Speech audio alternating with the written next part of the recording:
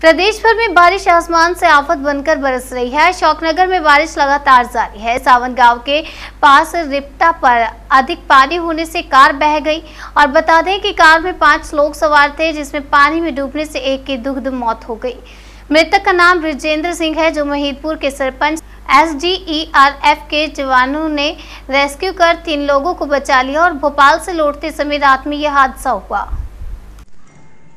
आज हमारे क्षेत्र में एक बहुत ही बड़ी दुखद घटना घटी है। हमारे कुछ साथी रघुवंशी समाज के भोपाल से किसी कार्यक्रम में गए थे। रात को वापस जब आ रहे थे तो एक नाले के पास उनकी गाड़ी पानी के तेज बहाव में बह गई भादोन के ऊपर, जिसमें किसी के तीन लोगों को तो सुरक्षित बचा लिया, क्योंकि वो किसी तरह एक पेड़ पर चढ़ के उन्होंने अपनी जान बचाई और आवाज़ लगाते रहे तो आस पड़ोस में किसी व्यक्ति ने उनकी आवाज़ सुनी। और जैसे ही पता लगा सब लोग पहुँचे तो उनको किसी तरह तीन लोगों को रेस्क्यू कर लिया गया, पर दो लोग लापता थे। उनमें से एक व्यक्ति की जो है डेड बॉडी प्राप्त हो गई है और एक व्यक्ति अभी भी लापता है। तो बहुत ही दुखद घटना घटी है।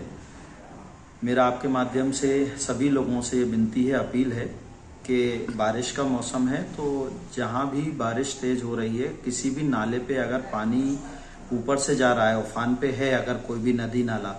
तो कृपया उससे के ऊपर से बाहर ना निकालें, क्योंकि जीवन है तो सब कुछ है। कभी भी जल्दबाजी में या किसी भी उसमें ऐसा कोई निर्णय ना लें कि हम अपने जान गवा दें। तो मेरी सभी से अपील है कि अभी बारिश का मौसम है और काफ़ी तेज बारिश चार पाँच दिन से चली रही है पूरे क्षेत्र में। तो किसी भी नाले पे अगर पानी का तेज बहाव है तो कृपया उसके ऊपर से ना निकलें। प्रशासन भी ये हिदायत आपको दे रहा है। मेरी भी आप सभी से अपील है कि अपने आप को सुरक्षित रखें और किसी भी नाले पे अगर पानी का तेज बहाव है तो उसके ऊपर से किसी भी वाहन को या स्वयं ना निकलें।